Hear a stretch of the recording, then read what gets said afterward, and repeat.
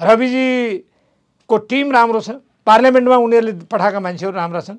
देशभरिमा दस एघार लाखको समर्थन छ। तपाईँको त्यो नामसँग यो अनुहार हेर्ने बित्तिकै। भयङ्कर काङ्ग्रेस भन्छन् तपाईँलाई। अहिले मान्छेले। सही कुरा हो। तेरो हात बाँधिदिएको छु तेरो मुख थुनिदिएको छु भनेको छ म किन बस्छु त्यस्तो पार्टीमा? काङ्ग्रेस भनेरै रुखमा भोट हाल्न पाइन भनेरै विद्रोह गरेको हो भने त आज त तपाईँको क्षेत्रमा रुख चिन्हको उम्मेद्वार छन्। जितनारायण श्रेष्ठ अहिले उम्मेद्वार हुनुहुन्छ सिधा कुरा गर्नुपर्दा नेपाली काङ्ग्रेसबाट। तपाईँको सहयोग त छैन नि त आज पनि जितनारायण छैन हुँदैन। मलाई कारवाही गर्यो नि। आज म काङ्ग्रेस छैन। काङ्ग्रेस नभएको मान्छेलाई काङ्ग्रेस नभएको मान्छेलाई रुख हुनु बाद छैन अर्को चिन्ह हुनु के फरक पऱ्यो भन्नुहोस् त? मैले कहीँ चुकेको छैन। म कहीँ झुक्नुपर्ने मैले कुनै काम गरेको छैन। नेपाली काङ्ग्रेसबाट चाहिँ त्यो आत्मीयता नै धेरै टाढा गइसकेको जस्तो लाग्यो है। तपाईँको कुरा सुन्दाखेरि हार्दिक त छैन। हार्दिकता जुन एउटा अहिले केन्द्रमा त्यो छैन छैन। बिपी कोइरालासँग यहाँबाट चाहिँ त्यो खोला पैदल हिँडेर चाहिँ बनारस गएर भीमबहादुर तामाङजीको सहयोगमा बिपी कोइरालासँग गएर सदस्यता ल्या मान्छे हुँ पार्टीले बाटो बिरायो भनेर भने बापत म कारवाहीमा पर्ने। अनि कारवाही परेका मान्छेले सहयोग गरिदिएन भनेर गुनासो गर्ने। मिल्छ त्यो?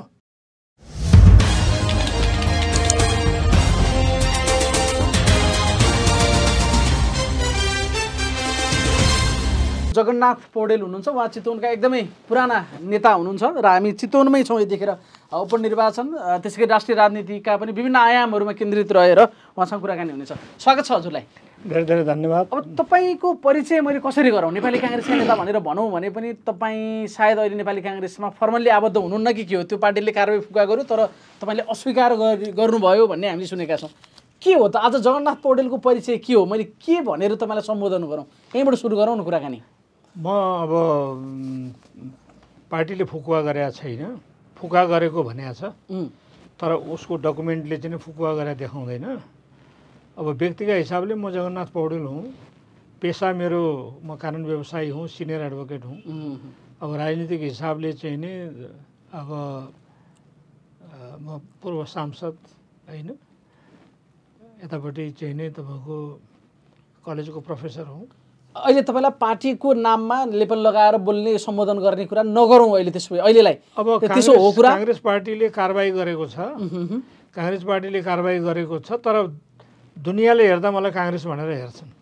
काङ्ग्रेसको ब्रान्ड भनेर जगन्नाथ पौडेल बेगरको काङ्ग्रेस हुँदैन भनेर भन्ने मान्छेहरू असङ्ख्य छन् चितवनमा। अझ तपाईँको नाम त नि बाहिरतिर भयङ्कटर काङ्ग्रेस भन्छन् हाम्रो उता उतातिर तपाईँको तपाईँको त्यो नामसँग यो अनुहार हेर्ने बित्तिकै अँ। भयङ्कटर काङ्ग्रेस भन्छन् तपाईँलाई। अहिले मान्छेले। सही कुरा हो। त्यसको ला त्यसको संक्षिप्त इतिहास छ। नेपाली काङ्ग्रेसले चितवनलाई उपेक्षा गरेर चितवनका प्रति अन्याय गरे हुनाले त्यसको प्रतिरोध मैले गरे हो।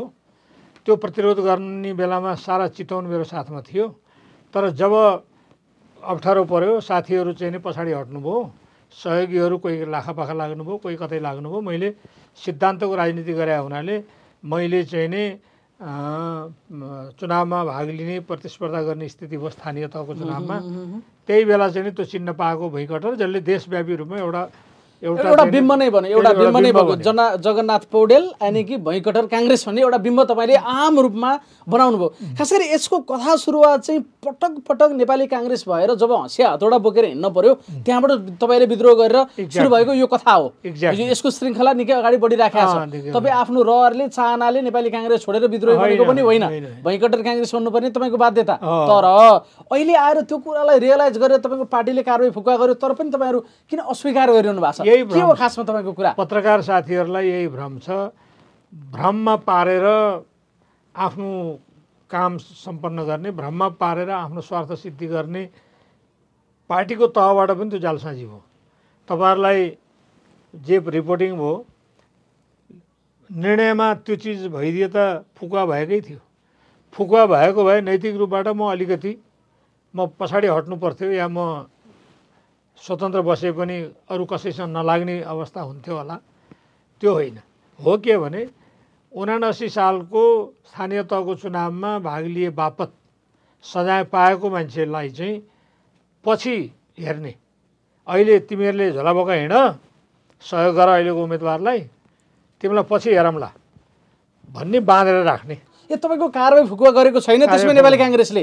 जस्तो बाहिर हामीले समाचार सुने अनुसार अब तपाईँकै पार्टीको सहमहामन्त्रीले बाहिर मिडियालाई जानकारी गराउनु भएको हो। चितवन बारा र तनहुङका कारवाही गरेका पुराना सबै जति जो जो बाँकी बन्नुभयो। जो जसले चाहिँ निर्णय असहमत राखेर आफ्नो काम गर्नुभयो। उहाँहरूको क्रियाशील सदस्यता पुरानै मितिको कायम हुने गरी फुका गरेको भनेर उहाँले मिडियालाई जानकारी गराउनु भएको छ। त्यसमा यो भ्रम हो। भ्रम हो त्यसको दुई खण्ड छ। एउटा तनहुको गोविन्दराज जोशी र चितवनको विकास कोइरालाको बारेमा भएको निर्णय छ। फरक छ। त्यो उनासी सालभन्दा अगाडिको हो। उनासी सालमा भएको निर्वाचनमा सहभागी भएको प्रस्तावक समर्थक वा जो जो सहभागी भएर कारवाहीमा परेका छन् उनीहरूको हकमा फुकुवाको निर्णय छैन। उनीहरूलाई एउटा आदेश छ। तिमीहरूलाई हामीले कारवाही गरेर चाहिँ तिमी शून्यमा झरे पनि हाम्रो आदेश पालना गरेर तिमीले झोला बोकेर हिँड। तिमीहरू झोला बोकेर हिँड्यौ भने पछि हामी हेर्दै गरौँला भने हो त्यो अहिले जगन्नाथ पौडेलहरूको कारवाही फुका गरेको छैन। त्यसमा एउटा बाहिर भ्रमको मात्र खेती गरियो होइन त कारवाही फुका गरियो तर पनि उनीहरू आएनन् भन्ने भ्रम मात्र। उ गरिएको हो मेरो। हाम्रो हाम्रो फुकुवा गरेको छैन हाम्रो अरू साथीहरूको अनि दिनेश कोइरालाजी त हिँडिसक्नुभयो त काङ्ग्रेसलाई जिताउनु पर्यो भनेर उहाँले विज्ञप्ति जारी गरी हिँडिसक्नुभयो तपाईँको उहाँको कथा एउटै होइन र व्यथा होइन दिनेश? दिनेश कोइरालाजीको चाहिँ कथा मलाई थाहा छैन उहाँले मैले भुइँकटार चुनाव लिएर चुनाव लड्दाखेरि चाहिँ नि गठबन्धनको पक्षमा उहाँ उभिनुभयो। पार्लियामेन्ट्री चुनावमा जाने बेलामा चाहिँ नि उहाँले गठबन्धनको विरुद्धमा उभिनुभयो। अब अहिले फेरि गठबन्धनको साथमा हिँड्नु भएको होला। हाम्रो त्यति बेला भुइँकटार चुनाव लिएर चुनाव चिन्ह लिएर चुनाव लड्ने बेलामा पनि दुईवटा कुरा थियो। एउटा कुरा नेपाली काङ्ग्रेसले नै आफ्नो उम्मेदवार बनाउनु पर्दछ। नेपाली काङ्ग्रेसले मेजोरिटी कमान्ड गर्छ। नेपाली काङ्ग्रेसले सहिद बनाएको ठाउँ हो। त्यसले चाहिँ नि कहीँ कहीँ कुनै हिसाबले चाहिँ विचलित हुनुहुन्न भन्ने एउटा अर्को गठबन्धनले आधारभूत रूपमा दलीय व्यवस्थालाई कमजोर बनाउँछ। दलीय व्यवस्थालाई कमजोर बनाउने प्रजातन्त्रलाई कमजोर बनाउने कार्यकर्ताको मनोदशा बिग्रिने गरिकन पार्टीले निर्णय गर्नु त्यो पनि अनुचित हुन्छ। त्यसो भएको हुनाले यो दुइटै कुरामा चाहिँ नेपाली काङ्ग्रेस सचेत हुनुपर्छ। देशको ठुलो पार्टी हो विभिन्न चरणको आन्दोलनको नेतृत्व गरेका पार्टी हो। यसले चाहिँ खुट्टा कमाएर हुँदैन खुट्टा दह्रोसँग टेक्नुपर्छ। ठिक छ दुई चार सिट तलमाथि आए होला। अगाडि बढ्नुपर्छ। गठबन्धन गर्नु हुँदैन यो गठबन्धन चाहिँ काङ्ग्रेस कमजोर हुने अरूलाई चाहिँ खुट्टा टेकाउने अरूलाई बलियो बनाउने फर्मुला हो र केही मान्छेलाई चाहिँ निर्वाचनको माध्यमबाट सत्तामा पुर्याउने खालको चाहिँ यो प्रपञ्च हो। यो कुनै डेमोक्रेटिक एक्सर्साइज पनि होइन। यसले चाहिँ नै कार्यकर्ताको मनोबल पनि बढ्दैन। त्यस कारणले यसको अभ्यास हुनु हुँदैन भनेर हामीले त्यति बेला भनेको थियो। अहिले पनि तपाईँले दिनेशीको कुरा उठाउनुभयो दिनेशीले गठबन्धन ठिक होइन भनेर भन्नुभयो हिजो गठबन्धन ठिक भयो भन्नुभयो फेरि गठबन्धन ठिक भएन भन्नुभयो अहिले फेरि गठबन्धनमा लाग्नु भएको छ भने मलाई थाहा छैन मेरो चाहिँ भनाइ के छ भने आज पनि गठबन्धनै छ सिद्धान्त त गठबन्धनभित्र कसले टिकट पा सुरुखले टिकट पाउँदा सहयोग गर्ने अनि त्यो गठबन्धनलाई सहयोग गर्ने मान्छेले अर्कोले टिकट पाउँदा सहयोग नगर्नु पनि त त्यो चाहिँ होइन सरस्वती हेर्दाखेरि नेपाली काङ्ग्रेस भएर रुखमा भोट हाल्न किन नपाउने हामीले भनेर हो नि तपाईँले विद्रोह गर्नु गर्नुभएको हिजो हो हेर्दाखेरि होइन त। होइन पार्टी नेपाली काङ्ग्रेस भोट हाल्नु पर्नेछ हँसिया हतौडामा यो पीडाले तपाईँले विद्रोह गर्नुभएको। आज त खुसी हुनुहोस् न नेपाली काङ्ग्रेसको उम्मेद्वार हुनुहुन्छ मेरो क्षेत्रमा रुख चिन्हको उम्मेद्वार हुनुहुन्छ होइन मेरो खुसी त त्यति बेलै खुसी हो जति बेला म काङ्ग्रेसका निमित्त लडेर म मैदानमा थिएँ काङ्ग्रेसका विरुद्ध लड्दाखेरि म मिडियामा थिएँ देश विदेशमा त्यो मेरो मुद्दा स्थापित भएको थियो। मलाई कारवाही किन गर्यो त मलाई कारवाही गर्यो नि। आज म काङ्ग्रेस छैन। काङ्ग्रेस नभएको मान्छेलाई काङ्ग्रेस नभएको मान्छेलाई रुख हुनु बाद चाहिँ अर्को चिन्ह हुनु के फरक पऱ्यो भन्नुहोस् त। ए जतिखेर काङ्ग्रेस थिए त्यतिखेर कारवाही गर्यो। जति बेला म काङ्ग्रेस काङ्ग्रेसको छैन, लागि म काङ्ग्रेस हो मरिमेटा- भनेर फुक्का Yes. गरेको भन्ने नाटक गर्दैछ। Yes. भनेपछि त्यसमा ज- म किन लाग्ने भन्ने कुरा जति तपाईँको बेला म काङ्ग्रेस थिएँ मलाई काङ्ग्रेस हुन दिएन मलाई कारवाही गरियो। अब मलाई कारवाही गरिएको छ काङ्ग्रेस छ कि छैन कि रुख छ कि छैन कि त्यो फुलेको छ कि त्यो चाहिँ नि जलेको छ कि त्यो चाहिँ नि ढलेको छ कि मलाई के थाहा म त गठबन्धनको पक्षपाती पनि होइन र म अहिले काङ्ग्रेस पनि छैन म अहिले काङ्ग्रेस छैन म काङ्ग्रेस नभएपछि मलाई यसो गर उसो गर भन्ने आदेश दिने अधिकारी हुन्छ र त्यो काङ्ग्रेसले गर्न मिल्छ? काङ्ग्रेसै नभएको मान्छेलाई कारवाही गरोस् कि कारवाही खोलोस् कि यसो गरोस् कि त्यसो गरोस् कि रुख ल्याओस् कि हँसिया हतौडा ल्याओस् कि जेसुकै ल्याओस् त्यो। तपाईँको सरोकारभन्दा बाहिरको विषय। बाहिरको कुरा तपाईँलाई यसलाई कुनै मतलबै छैन होइन। चाहे कारवाही गरोस् चाहे फुक्का गरोस् त्यो उनीहरूको मामला हो। त्यसमा जगन्नाथ पौडेलको कुनै सरोकार। चासो चिन्ता केही पनि छैन बिल्कुल। छैन बिल्कुल छैन अनि कारवाही फुकै गरे पनि अब काङ्ग्रेस हुने नहुने कुरामा तपाईँ धेरै अगाडि बढिसक्नुभयो त्यसो भए हो काङ्ग्रेस हो त्यसमा मेरा अरू कुराहरू छन् पहिला कुरा काङ्ग्रेसले आफ्नो मौलिक पहिचान गुमाउँदै गएको छ उसले आफ्नो गन्तव्य यकिन गरेको छैन काङ्ग्रेस पार्टीभित्र एउटा गुट छ त्यो सधैँ सत्तामा बसिरहनुपर्छ। त्यो सत्तामा बस्नका निमित्त उचित अनुचित सम्झौता गर्नुपर्छ। आज कति दिनदेखि चाहिँ सरकार बनेको छैन। तपाईँले यो दुई महिनाको बिचमा देख्नुभयो पार्टीहरूको राजनीति के देखियो। एक्सट्रिम लेफ्टिस्टहरूदेखि लिएर एक्सट्रिम राइटिस्टहरू सबै मिलेर सरकार बनाए। तिनीहरूको सबैको साँठगाँठ भयो एउटा गठबन्धन बनाए। फेरि केही पार्टीको साँठगाँठ बन्यो गठबन्धन भत्काए। गठबन्धन जोडे यो कुनै हेर्न यो यो चाहिँ नि यो तमासा गर्ने जस्तो टाइपको भएन अनि काङ्ग्रेसकै कुरा तपाईँले गरिराख्नु भएको छ काङ्ग्रेसले त एउटा सिद्धान्तमा अड्नु पऱ्यो म आज पनि म तपाईँलाई भन्छु काङ्ग्रेसले अख्तियार दुरुपयोग अनुसन्धान आयोगमा तटस्थ मान्छे राखोस् निष्पक्ष मान्छे राखोस् सक्षम मान्छे राखोस् कानुन बुझेको मान्छे राखोस् दुधको दुध पानीको मान्छे पानी मान्छे राखोस् सुप्रिम कोर्टको जज नियुक्ति गर्दाखेरि चाहिँ तटस्थ मान्छे राखोस् योग्य मान्छे राखोस् आलोचना मुक्त हुन सक्ने मान्छे राखोस्। त्यस्तै पार्लियामेन्टमा काम कारवाही गर्दाखेरि चाहिँ बदनाम भएका मान्छेहरूलाई कारवाही गरोस् भ्रष्टाचारका फाइलहरू खोलोस्। म बिना शर्त भोलि काङ्ग्रेसलाई सहयोग गर्छु। गर्छ? त्यो आएको छ त्यस्तो सन्देश। पार्टीले त्यो निर्णय गर्न सकेका छ। मेरो त के हो भने म पद पैसाका निमित्त मैले राजनीति गरेको होइन। म बच्चैदेखि म जेल नेल भोगेका मान्छे हुँ। विद्यार्थी आन्दोलनको हर मोर्चामा म अगाडि हिँडेका मान्छे हुँ। एमनेस्टी इन्टरनेसनलमा काम गरेँ पन्ध्र वर्ष मानवाधिकार सङ्गठनमा काम गरेँ। जस्तो बाहिरबाट हेर्दा चाहिँ हाम्रो चाहिँ जगन्नाथ पौडेल कति अटेरी हो भन्ने पनि देखिन्छ। तपाईँको घरमा प्रचण्ड आएर भने देउवाले भने यति थारन थार थियो उम्मेदवारी फिर्ता लिनु पऱ्यो अथवा उम्मेदवारी दिनै दिनै भएन भनेर साँच्चै निष्ठाले अडायो तपाईँलाई त्यसरी। त्यत्रो त्यो त्यो पावरले तपाईँलाई अलिकति ठस मस गलाउने कस्ता प्रलोभन आयो होला कस्ता धम्की आयो होला त्यो हामी खालि अनुमान मात्र गर्न सक्छौँ।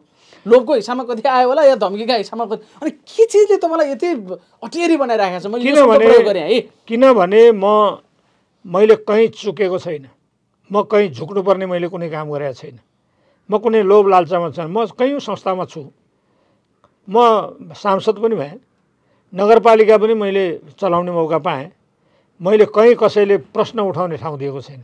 मेरो टेबलमा आएको काम एक मिनटमा हुन्छ भने एक मिनटमा दुई मिनटमा भने दुई मिनटमा दुई घन्टामा हुन्छ भने दुई घन्टामा। आजको भोलि कहिले गरिएन हामीले? कुनै मान्छेलाई पक्षपात गरिएन। तेरो मेरो भनिएन काङ्ग्रेस कम्युनिस्ट भनिएन। ठिक छ? सामाजिक जीवनमा पनि मेरो त्यही हो। राजनीतिमा पनि मेरो निष्ठाको राजनीति मैले गरे हुँ। मैले राजनीति गर्दाखेरि निरङ्कुश व्यवस्था थियो। हाम्रा विरुद्धमा फाँसीको सजाय हुनसक्थ्यो छयालिस सालमा चाहिँ नि राष्ट्र विप्लवको आरोप लागेको थियो मेरा विरुद्धमा। त्यो व्यवस्था रहेको भएदेखि म सायद फाँसीमा झुन्डिन्थेँ या राष्ट्र विप्लवको आरोप लागेको थियो। आजीवन म जेलमा जान सक्थेँ। त्यस्तो कठिन जिन्दगी बिताएको मान्छे आज त स्वतन्त्र छ नि। आज मैले लोभ लालचामा किन लाग्ने? एक पेट खानाका निमित्त चाहिँ हामीले सत्ताको दुरुपयोग गर्न जरुरी छ। एक पेट खानाका निमित्त हानथाप गरेर मलाई यो चिज चाहियो मलाई यो मन्त्रालय चाहियो मलाई यो विभाग चाहियो मलाई यो ठाउँ चाहियो भन्न जरुरी छ। त्यही त तपाईँ कति महत्त्वपूर्ण हुनुहुन्छ भन्ने कुरा त उनीहरूले गरेको फलोअप त्यो त्यो चिजले पनि देखिन्थ्यो नि त। बाहिरबाट हामीले हेर्दाखेरि पनि प्रचण्ड गएका छन् प्रचण्डले फकाएका छन् देउबाले भनेका छन् सारा चिजहरू। तर पनि हामी सुन्थ्यौँ जगन्नाथ पौडेल टसमा छैन। आफ्नो कुरामा टस तल माथि छैन। त्यो निष्ठा पनि छ आज बाँचेको भनेर मात्र मैले प्रश्न गरेको त्यसको परीक्षा लागि त केही त चाहिएला नि त सर। त्यसको लागि तपाईँले परीक्षा गर्नुहोस्। मेरो चाहिँ नि के छ भने म एक्लो जिन्दगी छ। मलाई बस्नका निमित्त एउटा घर छ। मलाई दुई मुठी चामल भएदेखि दिन चल्छ। लगाउनका निमित्त वरपरिका निमित्त मलाई कुनै समस्या छैन। मलाई सम्पत्ति कमाउने त्यो पनि राजनीति गरेर सुन्नुहोस् म पेसाले वकालत गर्ने मान्छे हुँ। काठमाडौँमा मैले दसौँ हजारौँ मुद्दा गरेको छु। मेरा समकालीन साथीहरू आज रिटायर भएका छन्। आज मैले आज पनि मेरो भेट भयो एकजना बाहिरबाट आएको चाहिँ नि गेस्ट संयोगले उहाँ मेरो विद्यार्थी हुनुहुँदो रहेछ होइन उच्च अदालतको। मैले अध्यापन बस्दा अध्यापन गर्दा या विद्यार्थी राजनीति गर्दा या जिल्लामा अरू तहको राजनीति गर्दा मैले राजनीतिक निष्ठाको निमित्त गर्ने इमान्दारीका साथ गर्ने लेनदेनमा आधारित राजनीति नगर्ने भनेर गरे हुनाले नेताहरूले मलाई भनेको कुरा के थियो भने तँलाई चित्त बुझाउँछौँ। तैँले हामीले भनेको कुरा मान। तपाईँहरूले भनेको कुरा मलाई जहाज लाएन सबै कुरा मान्छु। तपाईँले भनेको कुरा जहाज लाएन म कन्भिन्स भइनँ। त्यसो भएको हुनाले मलाई गाह्रो छ भनेर मैले उहाँलाई हात जोडे हो। होइन? म अब म चाहिँ नि आज जहाँ छु तपाईँले मलाई जे प्रश्न गरिराख्नु भएको छ तपाईँ मेरो घरमा आउनुभएको छ तपाईँ बुझ्नुहोस् चितवनमा जगन्नाथ पौडेलको के हैसियत हो? जगन्नाथ पौडेल कति इमान्दार हो? जगन्नाथ पौडेल चाहिँ कहाँ कहाँ चुकेको छ तपाईँ बुझ्नुहोस् न। मैले मेरो बारेमा के भनौँ तर म के कुरामा विश्वस्त छु भने मैले कहीँ चुकेर कहीँ कसैका विरुद्धमा वा कहीँ कुनै हिसाबले चाहिँ नि लोभ लालचा गरेको कहीँ चुकेको कहीँ झुकेको छैन। जब म चुकेको छैन किन झुक्छु? जब मलाई कुनै लालचा छैन म किन गर्ने? झुक्नको लागि त चुक्नु पर्यो। चुक्नु पर्यो। जो चुकेको छ ऊ झुक्ने हो. चुकेकै छैन भने किन झुक्ने भने त्यो एउटा निष्ठा तपाईँले बच बचाउनु भयो। तर जस्तो सरसर्ती अरू मान्छेले हेर्दा काङ्ग्रेस भनेरै रुखमा भोट हाल्न पाइन भनेरै विद्रोह गरेको हो भने त आज त तपाईँको क्षेत्रमा रुख चिन्हको उम्मेद्वार छन्। जितनारायण श्रेष्ठ अहिले उम्मेद्वार हुनुहुन्छ सिधा कुरा गर्नुपर्दा नेपाली काङ्ग्रेसबाट। तपाईँको सहयोग त छैन नि त आज पनि जितनारायण छैन हुँदैन। हुँदैन जितनारायण श्रेष्ठलाई सहयोग तपाईँको हुँदैन। तपाईँलाई म बताउँछु किन हुँदैन। किन हुँदैन भने काङ्ग्रेस पार्टीभित्र सिनियरिटीको सिन्सियरिटीको नेपाली काङ्ग्रेसभित्र काङ्ग्रेसको नेताको कार्यकर्ताको कसैको सम्मान छैन मूल्याङ्कन छैन। नेपाली काङ्ग्रेस गतिशील हुन सकेका छैन। नेपाली काङ्ग्रेसले बिपी कोइरालाले पन्ध्र महिना देशको प्रधानमन्त्री हुँदाखेरि आमूल परिवर्तन गर्नुभयो युगान्तकारी परिवर्तन गर्नुभयो। हाम्रा नेताहरू पाँच पटक प्रधानमन्त्री भएको सात पटक हुनुपर्छ भनेर लक्ष्य राखे। लक्ष्यै फरक छ उद्देश्य फरक छ। हामीले हामीले गर्न खोजेको चाहिँ नि यो शोषणमुक्त समाज हो। भ्रष्टाचारका कतिवटा फाइलहरू अल्झिएर बसेका छन्। अख्तियार दुरुपयोग अनुसन्धान आयोग कुन अवस्थामा छ? नेपाल सरकारको सचिवलाई लिएर गएर राख्ने ठाउँ हो त्यो। कुनै नेताको पकेटको मान्छे लिएर गएर बस्ने ठाउँ हो। मलाई लिएर जानुहोस् न अख्तियार दुरुपयोग अनु अनुसन्धान आयोगमा। म पनि योग्य मान्छे हुँ। या म जस्तो अर्को कुनै मान्छेलाई लिएर जानुहोस्। सुप्रिम कोर्टमा जज लिएर जानुहोस् न सुप्रिम कोर्टको जज हामी जस्तो मान्छे। तपाईँको त्यहाँ परख हुन्छ। यहाँ त के भएको छ? व्यक्तिगत स्वार्थका निमित्त। सम्पत्ति आर्जन गर्नका निमित्त। अहिले मान्छेलाई होडबाजी छ। सम्पत्ति कमाउनका निमित्त होडबाजी छ। मन्त्रालय छान्ने र चाहिँ छोड्नेमा छ। मन्त्रालय छान्ने र छोड्ने किन? जुनसुकै मन्त्रालय पनि उतिकै महत्त्वपूर्ण होइन। कानुन मन्त्रालय धेरै महत्त्वपूर्ण होइन। कोही कानुन मन्त्रालयमा जान मालदार रे नामै अहिले त मालदार रे मालदार क्या? चाहिँ। समाचार आउँदाखेरि मन्त्रालय तपाईँले? जुन कुरा सोध्नुभयो नि मलाई बिपी कोइरालाको पार्टी र बिपी कोइरालाको नेता बन्नका निमित्त बिपी कोइरालाले छोडेको पार्टीको नेता बन्नका निमित्त बिपी कोइरालाको पथ हुन्छ नि पथमार्गमा। उहाँको चाहिँ नि रोड म्यापमा उहाँको चाहिँ नि अनुयायी भएर हिँड्नका निमित्त त्यही बमोजिमको हुनु पऱ्यो नि। आज त्यो छ त। भने सिधा कुरा गर्नुपर्दा चितवन दुईमा जितनारायण श्रेष्ठले जगन्नाथ पौडेलको सहयोग पाउँदैन। तपाईँलाई बताउँदैछु। होइन त नि सिधा कुरा। छ के भने यहाँ कोही कसैको विश्वास छैन। सुन्नुहोस्। जित नारायणजीले बि- जित नारायणजीले मौका परे उहाँले अरू कसैलाई असहयोग गर्नुपर्ने अरू कसैलाई कुनै मौका दिनुपर्ने रहेछ भने उहाँले अर्काको जरा काटिदिनुहुन्छ अर्काले अर्काको गरिदिन्छ। यहाँ सिनियर मान्छे जुनियर मान्छे काङ्ग्रेसका मान्छेहरूको बिचमा हार्दिकता छैन। जितनारायणले अघिल्लोपल्ट टिकट पाएको हो उनकै क्षेत्र हो यो दुई नम्बर दुई क। पाँच हजार भोटले छयालिस सत्तालिस सय मतले हार्या हो होइन? अब आज आज के छ मलाई थाहा छैन तर धेरै इमान्दार मान्छे भन्ने म ठान्दिनँ। मैले उहाँलाई सभापति बन्नका निमित्त युवा मान्छे हो भनेर भने हो। तर उहाँले कति मान्छेमाथि विश्वासघात गर्नुभयो त्यो सोध्नुहोस् न उहाँलाई इन्टरभ्यू दिँदाखेरि।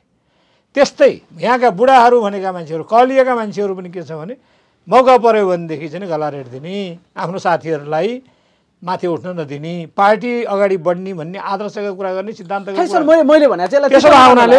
त्यसो भएको हुनाले काङ्ग्रेस पार्टीमा इमान्दारी निर्वाह गरेर बस्नका निमित्त गाह्रो छ। एउटा।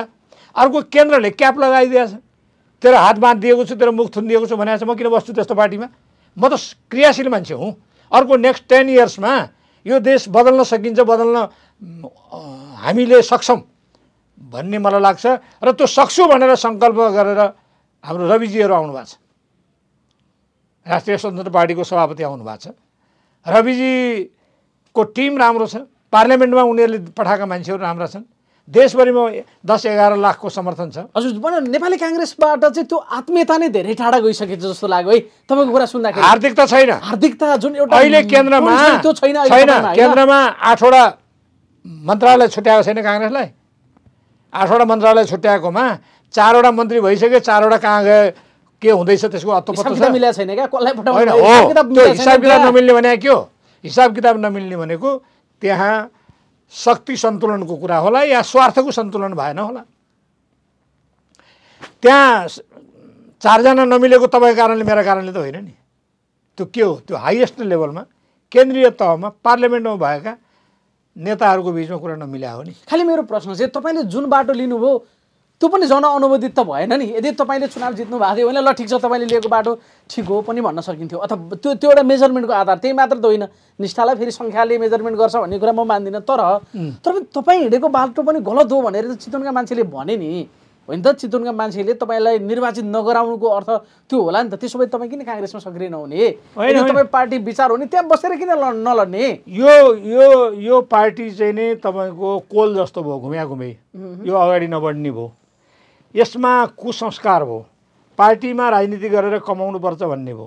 हेर्नुहोस् म मेरो घरको माना खाएर सकेको भए मैले दुई चार पैसा कसैलाई दान दिए होला सहयोग गरे होला। मैले हेर्दा हेर्दै जसलाई मैले दाना पानी चितवनमा खुवाएँ जसलाई मैले यहाँ स्कुलमा भर्ना कलेजमा भर्ना गर्नका निमित्त योगदान गरेँ जसलाई मैले नेभी सङ्घ बनाएँ तरुण दल बनाएँ तिनीहरूमध्ये कतिले यहाँ मेरोभन्दा ठुलो घर बनाएका छन्। त्यो त्यो सभ्यता मैले ग्रहण गरेँ होइन। मैले त बिपी कोइरालासँग यहाँबाट चाहिँ नि त्यो खोला पैदल हिँडेर चाहिँ नि बनारस गएर भीमबहादुर तामाङजीको सहयोगमा बिपी कोइरालासँग गएर सदस्यता लिया मान्छे हुँ। र बिपी कोइरालाबाट प्रभावित मान्छे। पिपी कोइरालाबाटै सदस्यता लिनुभएको त्यो लिएको पनि यहाँबाट हिँडेर गएर बनारस यहाँबाट हाम्रो छहरो पत्रिका थियो नेपाल विद्यार्थी सङ्घको। यहाँ ने चितवनबाट छाप्ने। होइन नेभी सङ्घको मुखपत्र भने पनि हुन्छ होइन? त्यति बेला त नेभी सङ्घ भन्ने स्थापित हुँदै थियो। बाई द वे म तपाईँलाई बताउँ नेपाल विद्यार्थी सङ्घको पनि म संस्थापक हुँ। दुई हजार सत्ताइस साल वैशाख छ गते काठमाडौँमा भएको अधिवेशनको चितवनको प्रतिनिधि हुँ म। नेभी सङ्घको तत्कालीन नेतृत्व गरेको व्यक्तिका नाताले हामीले प्रकाशित गर्ने पत्रिका छहरो यहाँबाट बनारस लिएर गएर बनारसमा छापेर बिपी कोइरालासँग सदस्यता लिएर आएको मान्छे हुँ म। बिपी कोइरालाको लिट्रेचर पढाएको मान्छे हुँ। बिपी कोइरालाको जीवनशैली बुझेको मान्छे हुँ। बिपी कोइरालाले अन्तिममा उहाँले बिदा भएर जाने बेलामा उहाँ गणेश राजजीले चाहिँ इन्टरभ्यू लिँदाखेरि साक्षी बसेको मान्छे हुँ म। मैले मैले त केही मागेको त छैन नि। पार्टीलाई ठिक ढङ्गले चलाउनुहोस्। पार्टीको विधानअनुसार चलाउनुहोस्। पार्टीको विधान उल्लङ्घन गरेको भएदेखि मलाई कारवाही गर्नुहोस् निकाल्नुहोस्। पार्टीले बाटो बिरायो भनेर भने बापत म कारवाहीमा पर्ने। अनि कारवाही परे मान्छेले सहयोग गरिदिएन भनेर गुनासो गर्ने। मिल्छ त्यो। त्यस कारण कारवाही गर्ने कारवाही गरेको मान्छेले सहयोग गरेन भने रुने गुनासो गर्ने भनौँ न त्यो त्यो नमिल्ने कुरा भयो।